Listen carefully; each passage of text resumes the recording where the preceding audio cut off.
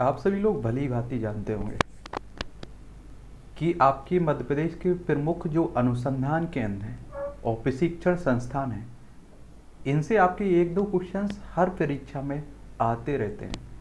फिर चाहे आप लोग एमपीपीएससी को ले लीजिए M P S I M P police patwari, शिक्षक भर्ती, इस तरह के जो भी एग्ज़ाम होते हैं। और याद रखिए कभी कभी इन एक क्वेश्चन आपके सेंट्रल एग्ज़ाम में भी पूछ लेता है। एसएससी होता है आपका। आप समझ रहे हैं कभी यूपी पीसीएस में, बिहार पीसीएस में यूपीएससी में, सिविल सर्विस में भी आ जाते हैं। तो इन कुछ संस्थानों को आप लोग याद रखिए और एमपीपीएससी में तो आप देखेंगे एक दो क्वेश्चन हर बार पूछे जाते हैं। रिपीट होते रहते हैं कई बार। और इसीलिए कई बार आपसे बोलता हूँ कि कम से कम पाँच से छः साल पुराने क्वेश्चन पेपर उठा के देख लिया करिएगा। जिस भी एग्ज़ाम की तैयारी कर रहे हैं। क्या रहता है कि इससे आपको मालूम चल जाता है कि कौन सा टॉपिक कितना महत्वपूर्ण है। किस टॉपिक पर आपको कितना ध्यान देने की ज़रूरत है? ठीक है? पुलिस वायरलेस प्रशिक्षण महाविद्यालय, ये कहाँ है? इंदौर में। पुलिस वायरलेस प्रशिक्षण महाविद्यालय, ये कहाँ देखने को मिलेगा आपको? इंदौर में। जनजातीय अनुसंधान एवं विकास संस्थान कहाँ देखने को मिलेगा? क्या? जनजातीय अनुसंधान एवं विकास संस्थान भोपाल में।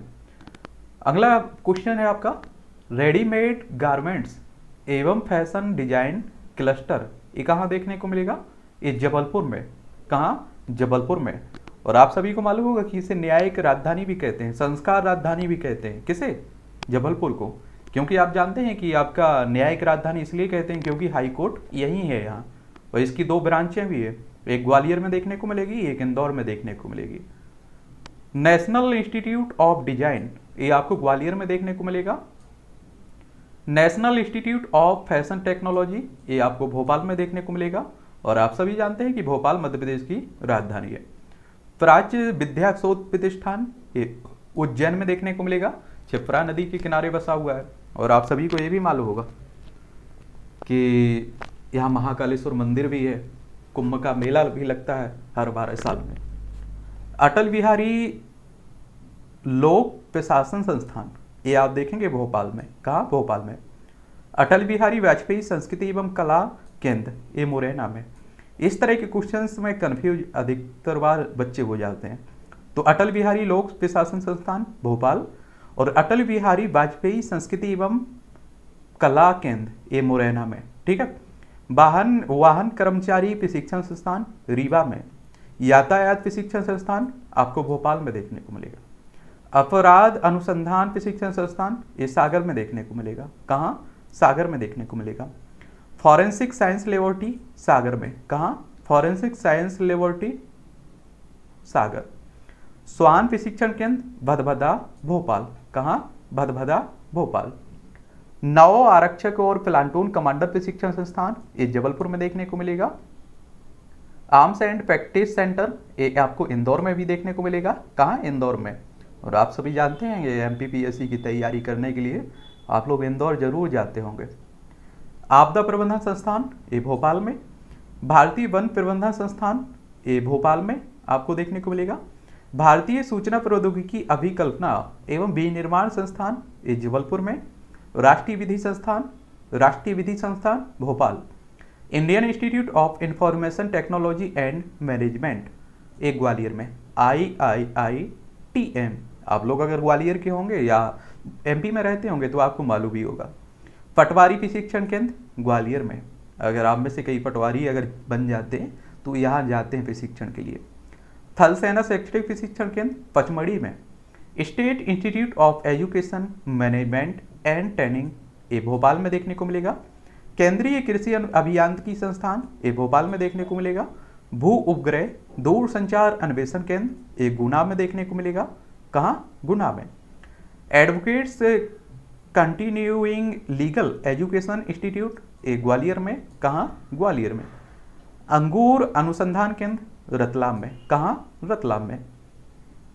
राष्ट्रीय सोयाबीन अनुसंधान केंद्र, इंदौर। राष्ट्रीय सोयाबीन अनुसंधान केंद्र, इंदौर। मध्य प्रदेश धान अनुसंधान केंद्र, बड़वानी। कहाँ? बड़वानी।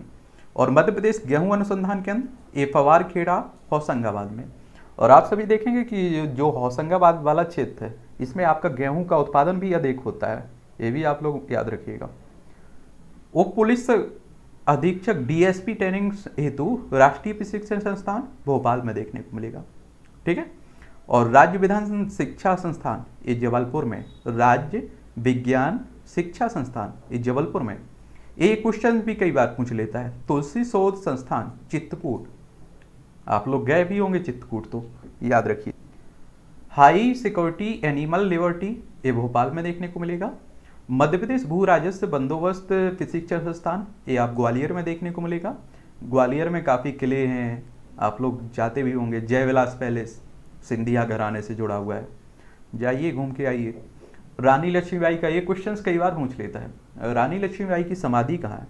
तो याद रखिए, ग्वालियर में है। और इनका जन्म बनारस में हुआ था। राष्ट्रीय तकनीकी प्रशिक्षण एवं अनुसंधान संस्थान ये भोपाल में देखने को मिलेगा। भीमराव अंबेडकर दूरसंचार प्रशिक्षण संस्थान जबलपुर में।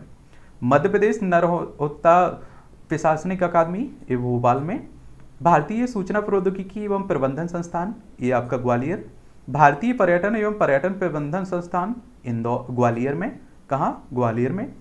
याद रखिए, भारतीय प्रबंधन संस्थान आई आई एम और आई आई टी ये दोनों एक ही जगह है मतलब एक ही संस्था, एक ही शहर में।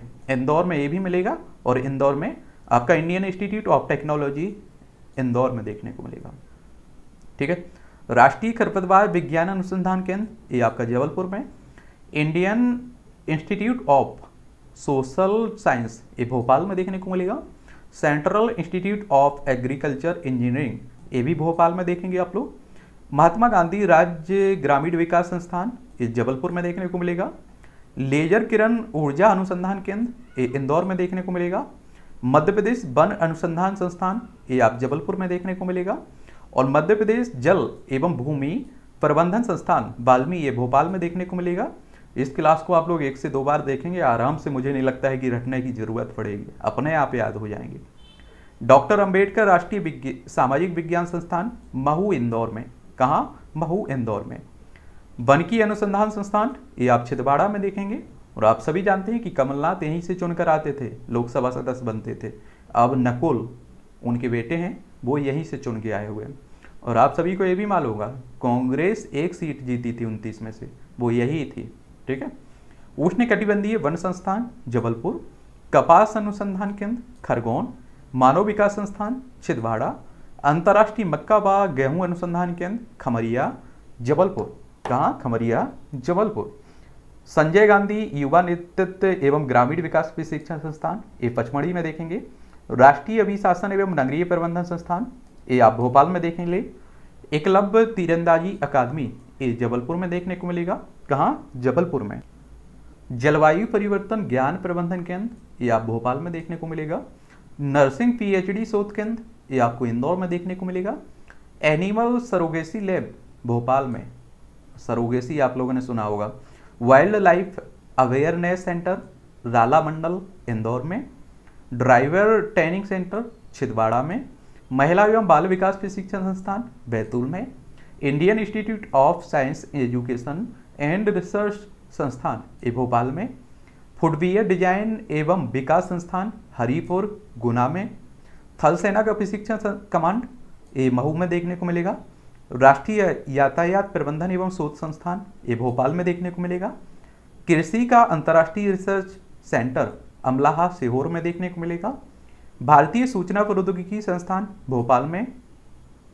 प्लास्टिक पार्क, ग्राम तमोट, रायसेन में देखने को मिलेगा। गन्ना अनुसंधान केंद्र, बुहानी, नरसिंहपुर में देखने को मिलेगा। दलहन अनुसंधान केंद्र, अमलाहा, सीहोर में देखने को मिलेगा।